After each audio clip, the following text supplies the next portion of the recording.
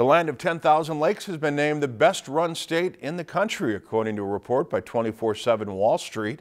Minnesota had been ranked as the 11th best run state as early as 2012, but has steadily risen through the rankings since then and is now the best run state.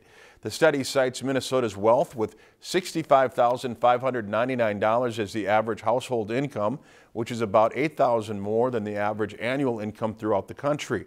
Minnesota's 3.9% unemployment in 2016 was the 13th lowest in the country, while 79.8% pension funded ratio was the 18th highest.